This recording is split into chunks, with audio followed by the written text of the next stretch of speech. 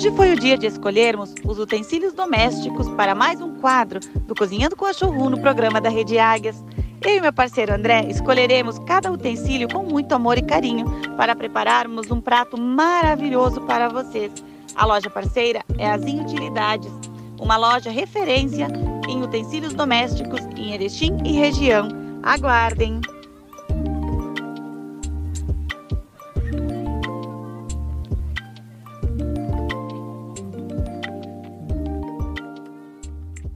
Oi, oi, oi, gente! Sejam bem-vindos à Rede Águias. Somos uma agência de marketing, damos treinamento de vendas, consultoria, cobrança, pós-venda e hoje daremos prosseguimento a mais um episódio do quadro Cozinhando com a Showroom. Estou aqui com o meu parceiro André da Showroom e a gente vai fazer uma receita muito bacana para vocês. Tudo bem, André? Olá, Adri. tudo Olá, bem? tudo bem? Estamos aqui de volta para mais aí. uma receita, né? Foi um sucesso a última receita, hein? É verdade. O pessoal adorou é a massa. É, Uhum. o pessoal eh, nos pediu bastante aí eh, algumas dicas adicionais, Aham. alguns detalhes, né? Mas a gente viu que o pessoal gostou. Isso aí. E hoje Né? qual que vai ser o prato do dia? Olha, hoje nós vamos fazer aquela comida que eu acho que não existe brasileiro ou pessoa no mundo que não gosta. Será que né? contamos para eles agora ou não? Acho que sim, né? Então, Já vai sair a receita, né? Tá? Hoje lá, é então. dia de pizza. Uhul! É, Vamos lá. Só a pizza come- eh, é a pizza desde a massa. Desde a massa. É, a, ma- a pizza, ela a gente costuma fazer em casa, já comprando a massa pronta. E no caso aí, a, a gente vai fazer a massa, inclusive ela vai para dentro do forno a massa crua ainda. Então é a massa, é, é a pizza tipo profissional, de pizzaria. Eu sempre comprei a massa, então hoje eu vou aprender a fazer. Desde a massa. fazer lá em casa. É isso aí. outro sabor, é outra pizza. Vamos Ah, o, lá, então. O inconveniente que a gente vai, ah, que a pessoa quando faz em casa tem, é que o forno de profissional, ele chega a temperaturas altas, a 350, 400 graus, né? Que seria o ideal para pizza. E o Hum. forno nosso caseiro, ele vai em torno de 200 graus, 250. Esse forno que a gente tem aqui, ele é um pouquinho mais potente, né? Então ele ah, peca nisso. Mas daí tem uns segredinhos, a gente vai falando conforme... Vai contar a- aí pro pessoal os segredos. É. Certo. Isso aí. Qual que é o início da preparação assim da massa? É, ela começa ah, com a água morna e o fermento. Tá. Essa receita a gente vai deixar no Instagram ali da Showroom, Isso. Certo? Como a gente já fez da outra, Da né? outra vez. Isso Ah, aí. Quem não viu, quem não viu o outro programa, pode assistir e também pode pegar a receita que está no Insta ali, já está tá descrito aí. Isso aí. Vamos iniciar então a nossa receita, Adri? Vamos. A gente vai precisar de 250 ml de água. Essa água tá morna, aqueci ela no micro-ondas antes, né? Tá? Então nós já temos, eu pego sempre um, uma- às vezes uma bacia, um bowl, que o pessoal chama, né? E daí a gente vai preparar, começar a massa aqui. Essa massa, ela dá dois discos grandes de pizza. Dois? Dois discos, tá? Aqui a gente vai acrescentar daí, ah, são 10 gramas do fermento. tá? O fermento aquele para fazer pão. Não é o, o fermento instantâneo, né? Tá? Certo. E daí aqui, deixa eu pegar a nossa colherinha aqui, ó. E nós vamos deixar ele dissolver, Ah, tá?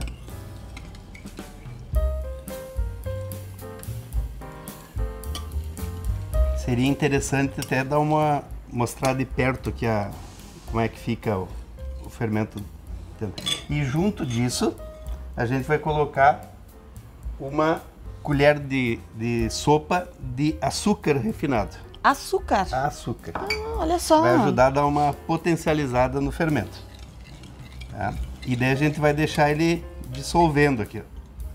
Tá? Em torno de uns 5 minutos para o fermento todo dissolver todo e começar a base da nossa massa. Agora que o, o nosso fermento já diluiu na, na água, né, com açúcar, aí é a hora que a gente vai entrar com a farinha de trigo. tá? A farinha de trigo, ah, tem gente que faz a receita, já coloca o sal no meio da farinha. tá? Eu prefiro colocar o sal depois da massa quando vai preparar ela. Tá? Por quê? O sal com o fermento, ele mata o fermento. Então ele pode comprometer o crescimento da massa. tá? Certo. Daí a gente vai colocando, vai misturando aos poucos, vai integrando a, a farinha, tá? Ah, nós temos aqui, são ah, 500 gramas de farinha. 500 gramas. É, aí a gente vai incorporando aos pouquinhos a, a farinha. Se a gente perceber, agora que colocou a farinha, quando tu vê assim, tu já vê o fermento agindo. Tá? Ele começa a, a comer a farinha. Tá? Vamos acrescentando a farinha. Eu tô de olho aqui aprendendo vai tudo. Vai pegando jeitinho. pegando jeito. É depois daí tu vai ter que amassar a massa pra mim. Não, não tinha te falado. Ah, é. essa é surpresa. hum, é. Tudo bem, tamo aí. Isso aí. Aqui a gente vai usando na, na nossa vasilha, que a, a, vai acrescentando até ela ficar num ponto que ela vai sair. mais nossa, consistente. Mais consistente acrescentando aos pouquinho. Daqui a pouco chega a hora boa de botar a mão na massa, literalmente. Tá? Uh, do sabor da pizza, porque pizza nós temos vários sabores, né? Uh, eu optei pra gente fazer uma que eu acho que é a, a pizza mais tradicional que existe, que é a pizza calabresa. Eu adoro. É, essa também eu acho que todo mundo gosta, né? Daí aqui a gente já percebe que a massa começou a ganhar corpo. Aqui. Ah! Tá?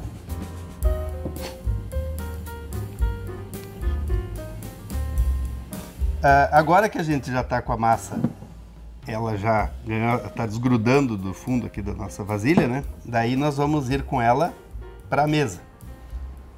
Tá? Vamos dar uma enfarinhadinha na nossa mesa aqui, para não grudar. Vamos passar a massa para cá. E agora vem a parte boa. né? Vamos lá. Ó, vamos pegando um pouquinho de fora para dentro para integrando a, a farinha.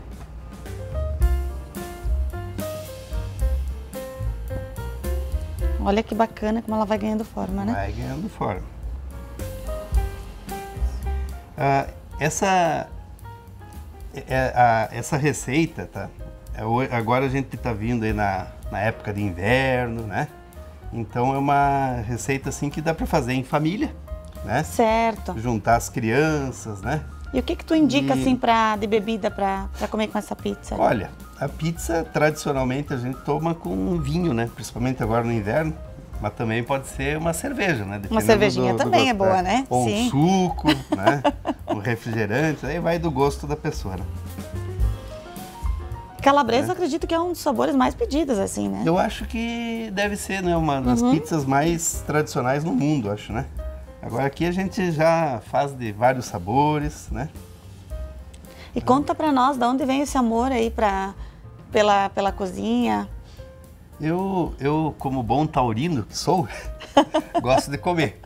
É? Certo. É, e, e daí... Uh, na, na busca assim de novos sabores tal, eu sempre tive a curiosidade de repetir o que eu como fora, né? Então, às vezes, eu, quando eu vou num restaurante diferente e tal, uh, eu vejo uma receita que me agradou, que, que me chamou a atenção, e daí eu trago para casa a ideia de tentar replicar ela, né? Certo. E hoje que nós temos a, nós temos a, o recurso do Google, da internet, né? Então a gente, nas dúvidas ali, a gente vai buscando, vai pesquisando. Vai pesquisando. Né? Hoje, hoje eu digo assim, só não é cozinheiro quem não quiser. É verdade. Como tu tem a cozinha é. aqui dentro da loja, fiquei sabendo que você cozinha para os amigos. Não, na verdade aqui essa cozinha, é, para cozinhar mesmo, a gente está é, fazendo aí na, pela segunda vez, tá? É, a gente tem esse ponto aqui que é um ponto, do, a gente chama do café. Cantinho ah, do café. Ah, né? é só uma reunião, não, faz, não faz um prato. faz um pãozinho de queijo, né? Uh, tem uma, uh, um cafezinho feito na hora, né? Para a gente uh, receber os amigos ali, né? Clientes, amigos. Porque né? aqui o atendimento de vocês é diferenciado. Como que é essa relação de vocês com o cliente? Porque os amigos vêm aqui, tem pão de queijo. É, é, é o, eu diria assim que a nossa característica da loja e eu diria assim até do nosso comércio aqui das Três Vendas, né? A gente tem um, um atendimento familiar. Tá? Uh, o cliente que vem uh, nos visitar aqui, ele não, não, não, não, não, vem, não chega numa loja mecânica que tem os seus procedimentos, né? Aqui Eu aposto tem- que eles devem se perguntar por que, que eu não vim aqui antes. Ah, é bem, é bem, é bem recorrente isso. Toda semana a gente ouve isso, tá? É, como a gente está num, num extremo da cidade, né?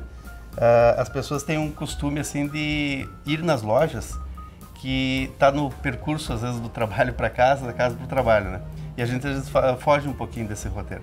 E daí tem clientes que hoje as redes sociais está bom nisso, que a gente está conseguindo atingir a um custo baixo clientes na região inteira, na cidade inteira, né? E o cliente que vem na loja, tá? Ele sempre se surpreende pela qualidade dos produtos e pelo preço, tá? Ah, até vou fazer um desafio. Você que ainda não conhece a loja, que nunca teve, esteve aqui no showroom móveis, tá? Venha nos visitar e venha comprovar o que eu estou falando, tá? Ah, não vi até hoje um cliente dizer barra ah, alguma coisa negativa. A gente vê que é espontâneo do cliente, né? Ele dizer, ah, por que, que eu não vim aqui antes? Por que, que eu ah, acabei de mobiliar minha casa se eu tivesse vindo aqui antes, tal? Então é, é bem, bem comum. Isso eu estou falando assim que é, é bem sincero, tá? Não é, não é propaganda enganosa. Eu vou colocar um fato que eu ainda não te contei, mas esse mês que passou, a minha sogra veio até, até a loja e ela vai comprar uma cozinha com você pelo teu atendimento, tá? É, Ela fez pesquisa de preço, ela foi em outras lojas e ela disse que vai comprar aqui porque ela viu muita qualidade e disse que o teu atendimento diz que foi diferenciado de todos os outros lugares que É, ela foi. Adri, então, meus parabéns. É, obrigado, Adri. É, esses 29 anos que a gente tem da loja, uma coisa assim que eu me orgulho e que é a coisa mais ah, sincera nossa, é que a gente nunca ah, usou de má fé com o cliente.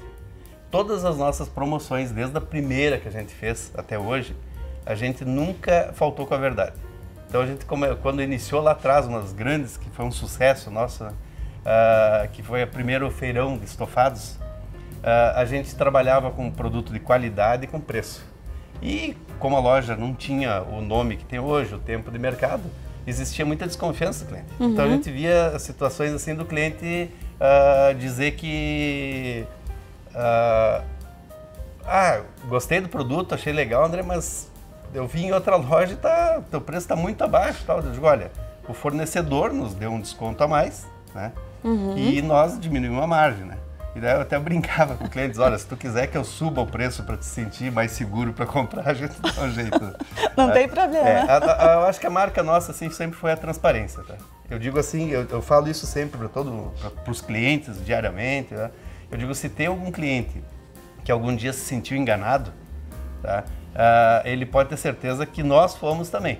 tá? Porque a gente às vezes pode ser eh, enganado por algum fornecedor. É tá? verdade. Mas se ele ficou descontente, ele falou para todo mundo, mas nunca chegou nos meus ouvidos né, que é, todos os problemas, que é, o ramo nosso ele é bem suscetível a problemas, tá?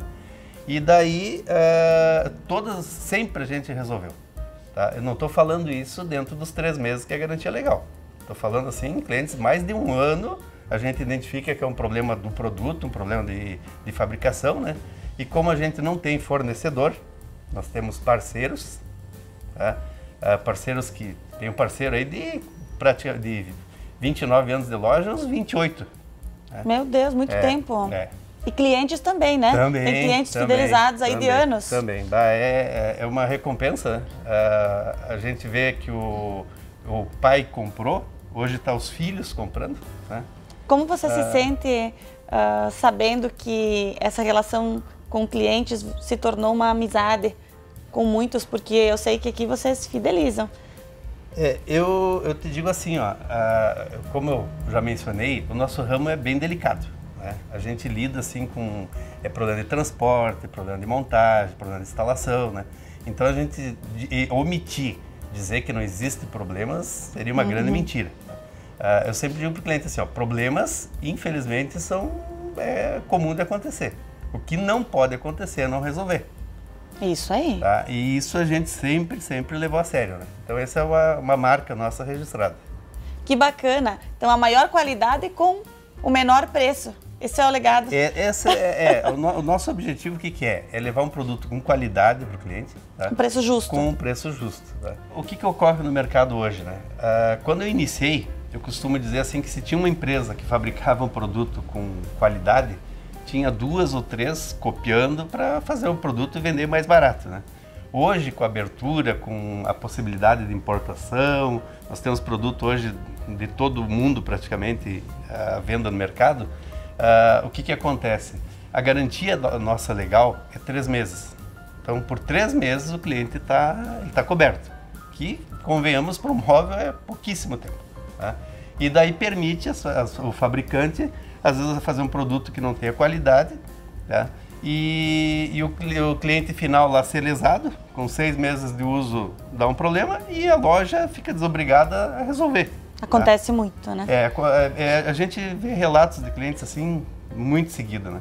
E essa é uma preocupação. Eu não, eu, eu falo para o meu fornecedor assim sempre que eu não trabalho com produto descartável. Inclusive vocês tá. participam de várias feiras para ficar atualizados dos, é, o, dos o, produtos, o ramo né? nosso ele é bastante ativo, né? Tá toda semana, tá todo mês entrando produtos novos, é, lançamentos, né? E a gente para se atualizar a gente está sempre uh, visitando as feiras, né? Tá? Eu acho importante, inclusive, o meu pessoal, a gente fechou a loja uh, agora recentemente para ir para uma feira em Bento, aqui que é próxima, né? Nós temos agora a feira ainda esse ano em Gramado?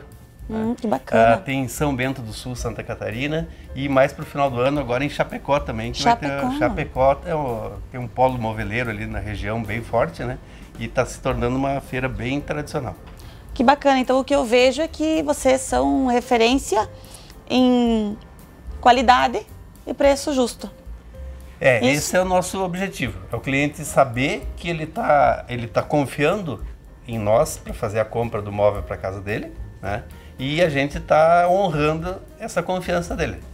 Adri, enquanto o nosso papo é rolando aqui, a nossa massa aqui tá bem sovada, tá? Eu acho que eu até sovei ela mais do que o normal, porque o papo tá foi bem longe. sovada, é, é isso? Tá bem sovadinha. Ó, dá para observar que ela já tá mais lisa, né? E essa massa aqui, ela tá pronta, agora, tá? O que, que a gente vai fazer agora? Agora nós vamos reservar ela, tá? Para uhum. deixar ela crescer. Quanto tempo se deixa? Olha, no, quando o ambiente está quente, assim, nós estamos numa temperatura de calor, ela em duas horas, assim, ela tá pronta, tá? Ah, uh, às vezes, se a pessoa tem um pouquinho de pressa, eu, é um truquezinho que eu fazia, é deixar o forno bem baixinho com a porta aberta e deixo ela lá dentro. Ele cresce mais rápido. Tá? Ah, certo. Mas assim, se tiver paciência, se não quiser de imediato, deixa ela crescer naturalmente. Tá? Okay. Agora, então, nós vamos reservar ela, tá? Uhum. Uh, vamos colocar uma, uma toalhinha de pano por cima e vamos reservar ela agora, esperar ela crescer. Vamos lá. Agora voltamos aqui com a massa, que ela já está crescida, tá? Hum. E daí agora a gente vai dar uma, uma sovadinha nela de leve, tá? Tirar um pouquinho a farinha pro lado. Vamos lá. Só para ela integrar. E depois a gente vai começar a abrir tá a massa. linda essa massa, pessoal. É, a gente vai abrir a massa, tá? Para fazer o disco. Tá? Daí, Adri, daí tu cuida assim quando começar a girar a massa em cima pra te não pegar, né? né? Pode deixar. Tá? Tu sabe fazer? Não, não sei. Aí, pros amadores, né? A gente vai usar o, o, rolo aqui que ele vai nos ajudar bastante. Ah, então né? tá. tá. Eu também não sei. Isso aí, tá? Então a gente já vai começar a abrir o nosso disco da massa, velho. Vamos lá. Tá? Disco da pizza, não disco da massa. E a fome tá grande aqui. É, é. Uh, até eu vou pedir desculpa para os nossos telespectadores, né? Que a gente tá, tá debutando né, na, nessa questão aqui, então a gente às vezes fala coisas assim meio atrapalhadas, né? uh, embora a gente tá acostumado a falar bastante, né? Só que uh, tá, tá fora do nosso contexto, né? É, então... Mas eu acredito tá. que, que o nosso público, ele, eles gostam de, dessa simplicidade, desse dessa interação. É, a gente está sendo verdadeiro. Verdadeiro, né? não, não, verdadeiro. Tem, a gente não está ensinando né? nada. Ó, aqui agora eu vou começar a usar o rolo, tá? Para abrir ela, tá? Nós temos que chegar num tamanho, essa aqui é o nosso, nosso tamanho da forma, né? Então a gente vai ter que fazer o, o disco do, até um pouquinho maior, tá?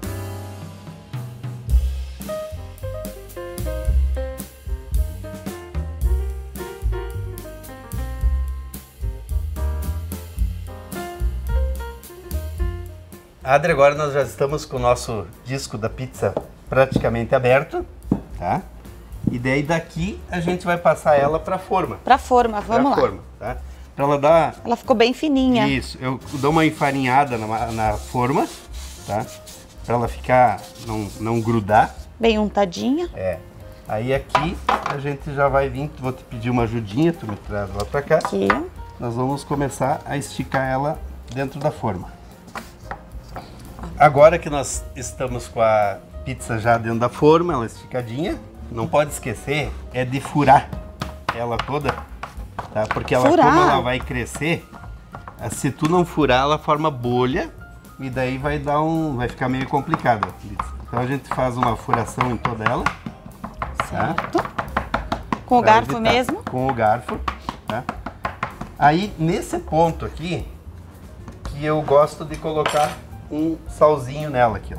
Eu ia mesmo te perguntar que no início É. da massa não foi colocado Não, o sal. não, Coloca não sempre coloquei. depois? Coloco agora, dou uma espalhadinha, tá? Tá. Deixo ele integrar na massa, tá? E daqui a gente vai partir agora para começar a montagem da nossa pizza, tá? Vamos lá.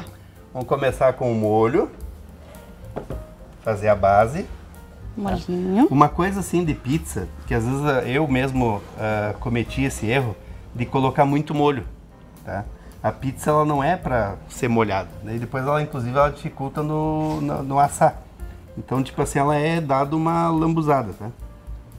O, o molho, gente, ah, o que que eu quando se trata de massa, de molho, ah, eu recomendo sempre a gente fazer o velho e bom molho caseiro.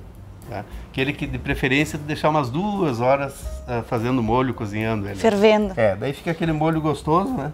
Ah, que tu pode fazer numa quantia maior, congela, e daí quando eu faço isso, às vezes coloco num potinho pequenininho, e daí quando vai fazer a pizza, descongela, então o molho caseiro é insubstituível, né?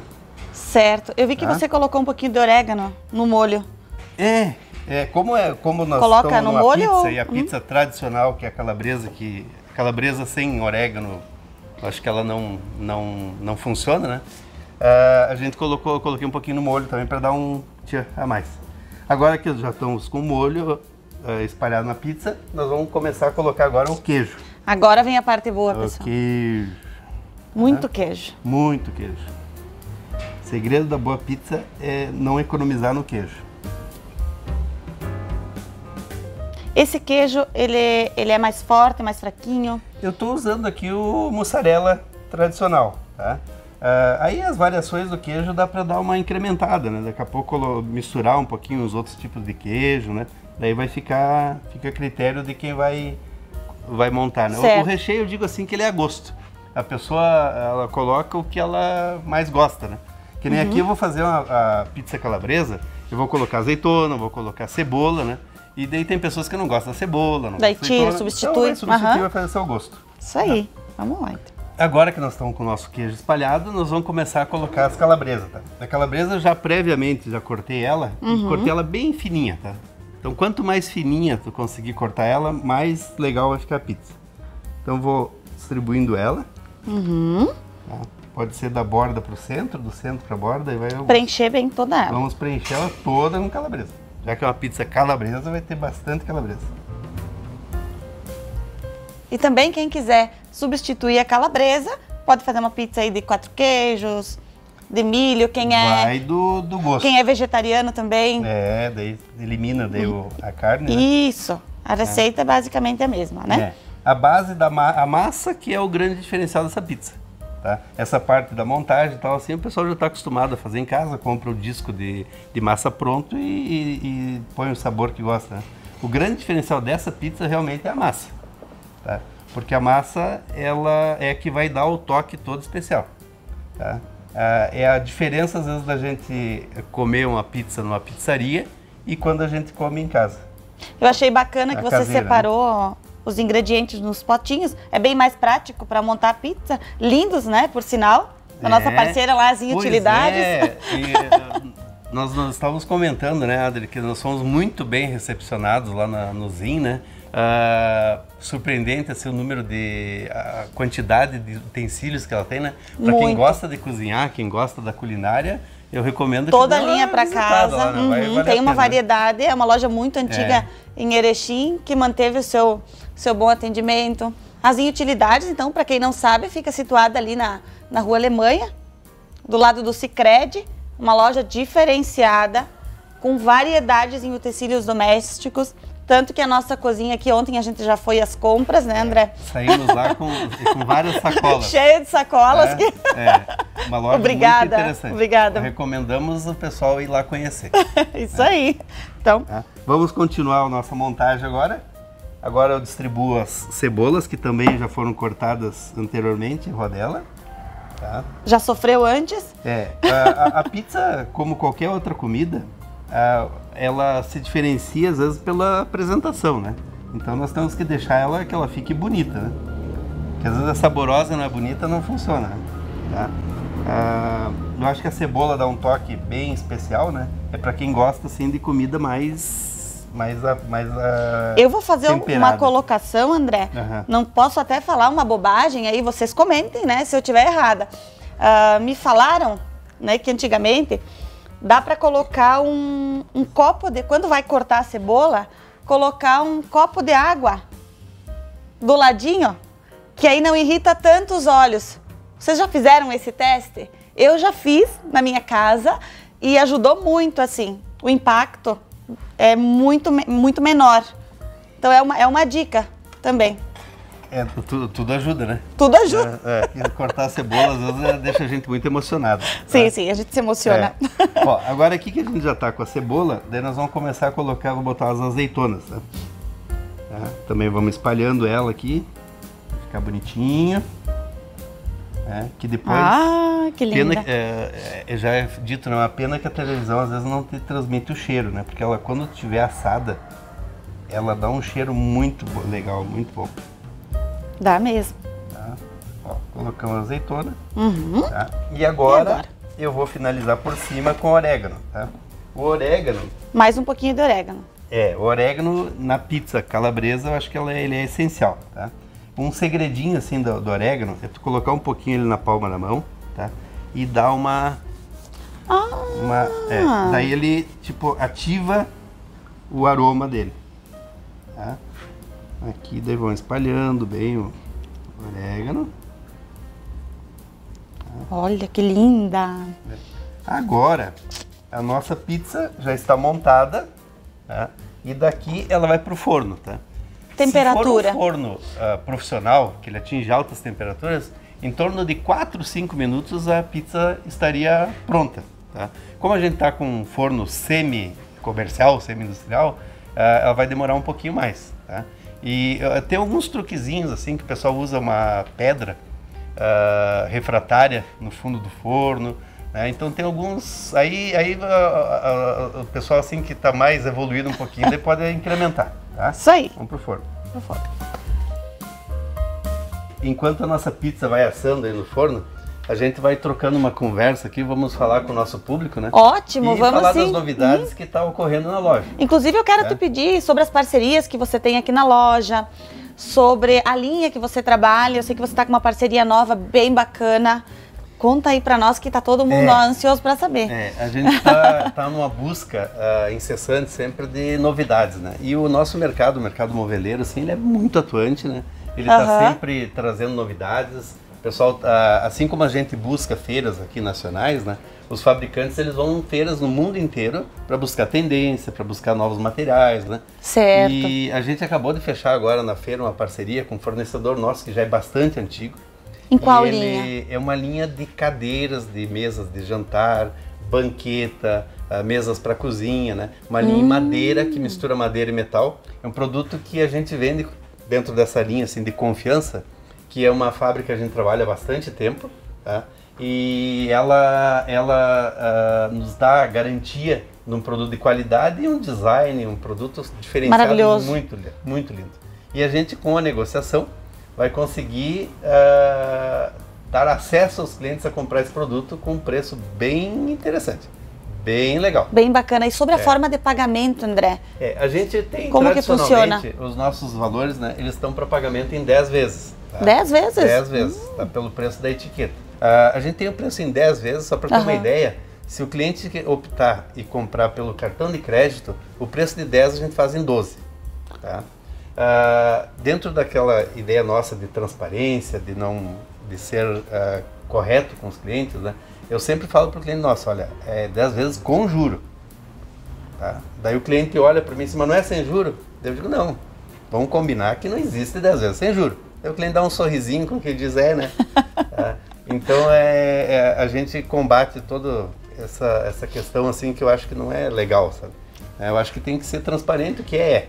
Né? Isso aí. Então, então a gente tem essa, essa, essa maneira de trabalhar. André, tem muitas donas de casa, donos de casa também, aqui nos assistindo.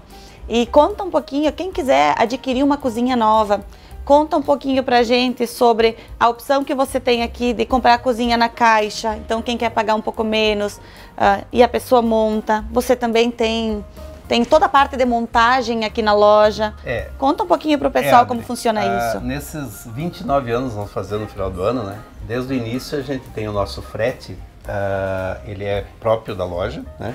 Uh, a nossa entrega é, é, tudo é pessoal nosso, nada terceirizado. Tá? Então a gente consegue. Em Erechim a entrega é gratuita. gratuita. gratuita. Olha aí. Desde, desde sempre. Tá? Uh, e a gente tem esse trabalho diferenciado. Uh, tu comentou antes, a gente já tinha até falado no outro programa, que a gente está inovando no sentido assim da, daquele produto que lhe agrega montagem, instalação, a gente está uh, ah, deixando isso separado do preço.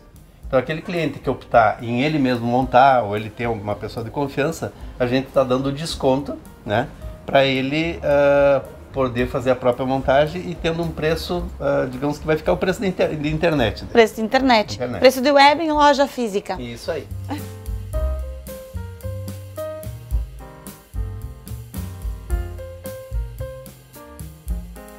a nossa pizza agora está ficando pronta. Ai, tá, tá linda. o cheirinho tá. degustar. Hum, tá? Vocês deviam e, sentir. E quando eu falei para ti que eu ia botar o um acompanhamento, uma salada, tá? A saladinha de radite com bacon, tá? Uh, isso aqui me remete às pizzarias nossas aqui de Erechim. Uh, lá no início, quando começou os rodízios, e daí o pessoal da, não tinha o costume de comer pizza com salada. Né? E daí eu, a pizzaria, por uma gentileza, ela mandava uma travessa com uma salada. Era justamente o radite com bacon. Radite, às vezes chicória, né? Uhum. E daí o pessoal começou a pegar o hábito de comer a pizza com a salada. Tá? E nisso virou hoje. Hoje é comum tu ir lá, tem um buffet de saladas no restaurante e a pizza. Tá? E hoje então eu vou te convidar para comer a pizza calabresa, com radite. Com radite e com bacon. Tá? Sei que Vamos tu não gosta lá, muito é. de salada, tu vai experimentar e vai me dizer. Ela dá uma, combina, uma combinação bem interessante, bem legal. Vamos experimentar, então vou, tá? vou é. ser a tua cobaia hoje. É, agora vamos, o próximo passo agora é nós ir para a mesa para comer. Vamos lá, já vou sentar aí. Vamos lá.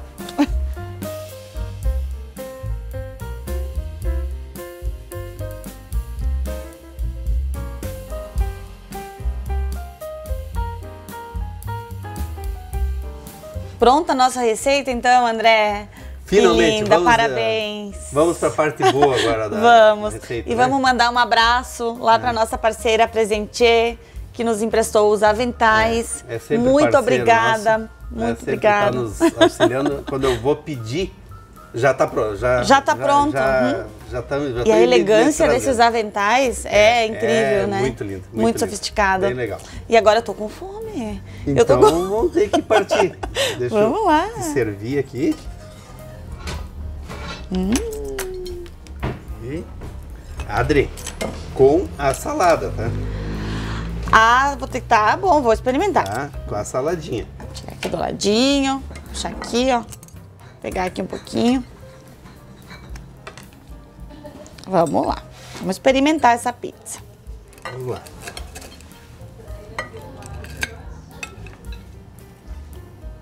Hum. Hum. hum. Que massa deliciosa. Parabéns. Super indico, pessoal. Façam essa receita. Adorei mesmo, mesmo. Agradeço mais uma vez a visita, agradeço ao pessoal que está nos assistindo, né? né? E fica o convite para vir conhecer a loja mais uma vez, né? Agradecemos a todos que estão nos assistindo. Tá? Tchau!